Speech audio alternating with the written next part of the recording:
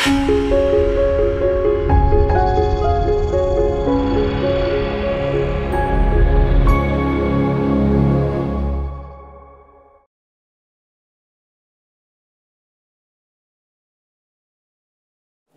an outsider, you have done so much for Hindu cause, and thereby you have contributed so much for India's cause also.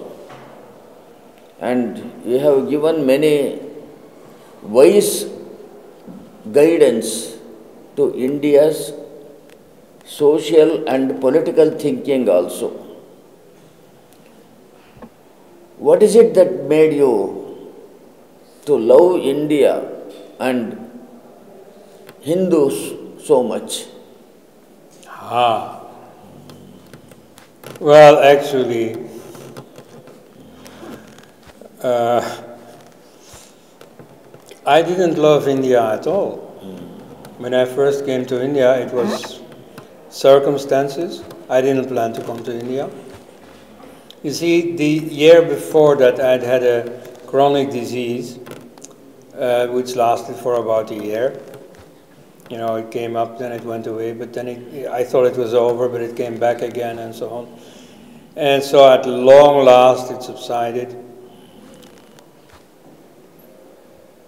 And I thought, well, you know, India means malaria and cholera and all these other terrible diseases. You know, why should I go to India? You see, a famous European uh, philosopher is called Immanuel Kant. He lived in uh, East Prussia, Uh, a city that today is in Russia and is called Kaliningrad. And there are numerous philosophers studying Kant, and yet practically none of them have ever gone to Kaliningrad. You see, you can study Kantian philosophy without going to, you know, Kant's birthplace. And so, on that model, I thought, well, you can study the Upanishads and never go to Kurukshetra or to wherever they were written and so drop India. I mean, many of the 19th century Orientalists, they did translations of Sanskrit writings and so on, but they never set foot in India. So I thought, you know, forget about India. And then uh, circumstances brought me to India anyway, and I enrolled in a BHU for some philosophy program. Uh, not very good, I must say, which was really directed to foreigners. You know, it was mostly followed by uh, Koreans and so on, people who were in Varanasi for Buddhism. And um, so, yeah, yeah. And especially, you see, there, the, I lost my interest in philosophy for a while. Later on, I took up Hindu philosophy in earnest. But you see, as a young fellow, you're not really not really directed to philosophy, to philosophical interests. You know, you want action. And in India, there was room for action. Because then I discovered the, the strange situation of um, secularism in India. You see, in Europe, secularism means secularism, it means keeping a distance from religious matters. Whereas Whereas in uh, India, it turned out that many secularist positions turned out to be pro Islamic or even pro Christian positions. In Europe, secularism had come about precisely as a reaction against Christianity. So this was strange. Like in the, in the affair of the uh, Satanic Verses, the novel by Salman Rushdie, uh, and it is in that context that my career as an Islam critic started. I found that uh, in India there was a big polemic going on among secularists whether to support this ban on the Rushdie book or not. And so the really hard secularists, the communists, they were in support of Rushdie. but all the, the Congress side secularists, like Khushwant Singh or like M.J. Akbar, who today you might know as a BJP ideologue, but back then was in Congress, you see, they supported the ban. So I thought this was very strange. At that time, I thought, you see, that in Europe this was unthinkable. Now, of course, 30 years later, I know better, because in Europe now all our politicians are taking precisely the same positions. Like just last week, there was this outbreak in France of a crisis around a girl, uh, a teenage girl, who um, apparently is lesbian or at least was reputed to be lesbian. And so she was scolded by her Muslim brothers and friends and so on. And then she reacted to that on Twitter saying, L'Islam c'est de la merde. You know, Islam is and then follow some word that I don't use in public. Um, and then she received death threats. And okay, you see, that is the usual pattern. But then what happened is that a number of leading politicians, including the justice minister of France, blamed her. And even even had police investigate whether they could punish her for appeal to hatred or something, Islamophobia. Uh, so that's a new development. No, but that's in India. That's old hat. Uh, you know that's why you have Article 295A, uh, which prohibits which was started as an article to prohibiting criticizing Islam which was then later also used by Christianity and finally also by Hindus. But at any rate, it prohibits criticism of religion. So it is anti secular. It is as emphatically anti secular as you can get. So you see, I discovered these things and I thought, my God, you see, let's do something about that. And so then, um, then I met Sitaram Goel, who, you know, helped greatly in making me understand what is really behind this situation. And so then I investigated the Ayodhya affair, which is at the source of the Rushdie affair, um, as few people know. Um, and so then I got into that. I forgot about Hindu philosophy. Um, but so Hindu philosophy is great, and then later on, of course, I rediscovered it. But at that time, you see, it was current politics that interested me. And where I discovered many things that are just completely unknown in the outside world. In the outside, you see, uh, an India watcher who does not understand his own discipline at all, who is a complete failure, who is totally incompetent, is the one who says, or who assumes that in India secularism means secularism.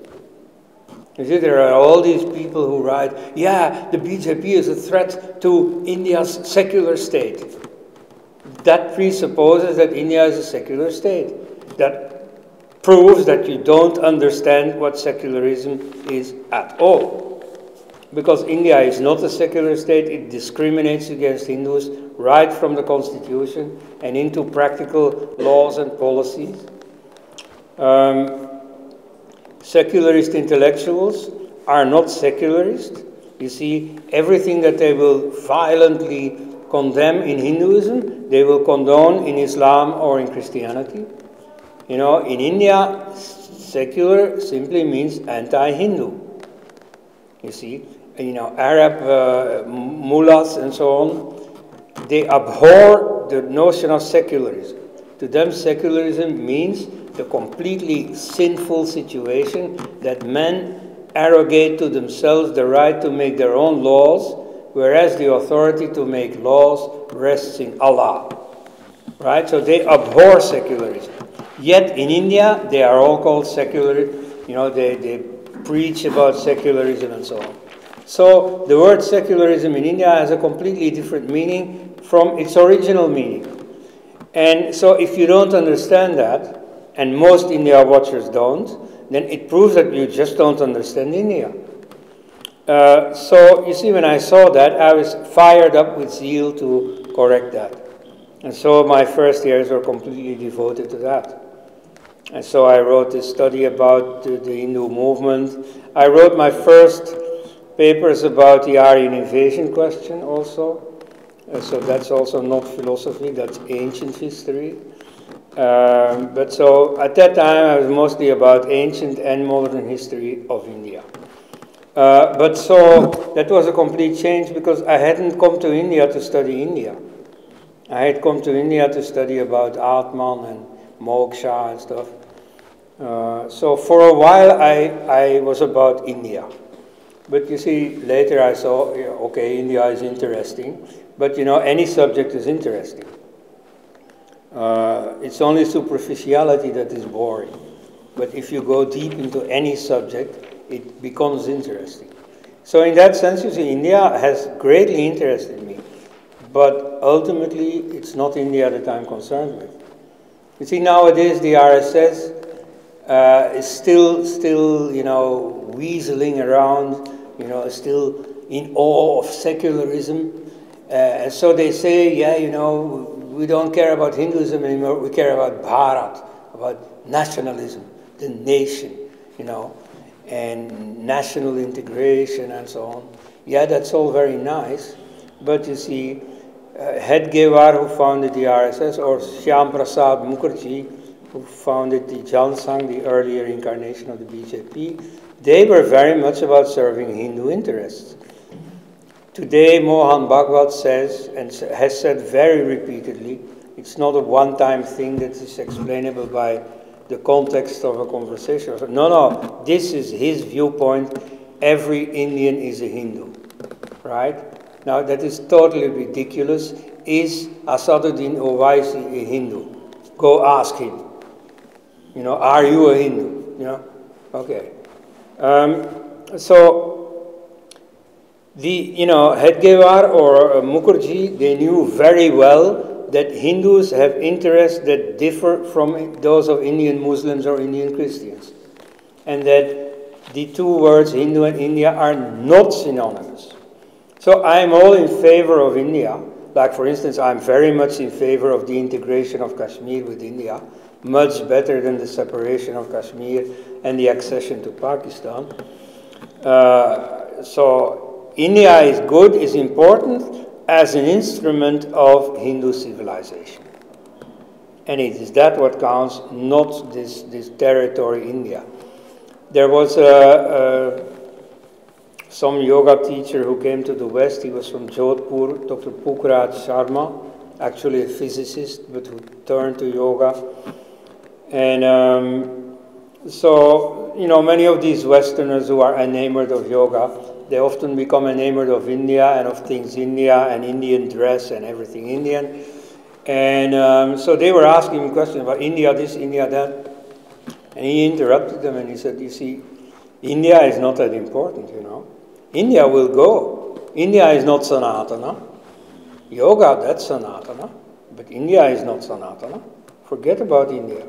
You see, India is important as an instrument for Hindu civilization. In that sense, I'm all for India. You should absolutely not ever uh, suspect me of turning against India.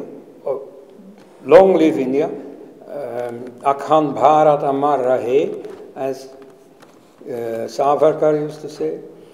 Uh, but nevertheless, it's not ultimately important. And so I was interested in Hindu philosophy, as I was at the time also very interested in Chinese philosophy. And so those countries, I didn't care. And um, so I, I, landed in India, and then India started interesting me. In fact, I landed in India, and it was love at first sight. Though I also remember that the first day when I arrived on Janpath, I was immediately fleeced of a big chunk of my money because I, I hadn't sort of figured out the system yet. Uh, so, I mean, I can say a few bad things about India, but I won't. I mean, they're not important. India, India is important in the sense that, you see, it's, it's the last bastion of, of pagan civilization whereas the rest of the world has been conquered by Christianity, Islam, or atheism. At the time, the Soviet Union was still going strong. China was still having a repression against religion. Uh, so those three forces uh, were all over the place except in India. You see, India at that time, even, even under a Nehruvian government, you know, at least had enough of life in Hindu civilization. And that's, uh, that's a matter of hope for all mankind. That's very good. And so India should preserve Hindu civilization as a gift to the world, to mankind as a whole. Last question. Okay? You can go on asking last questions. I don't ask any better. Yes.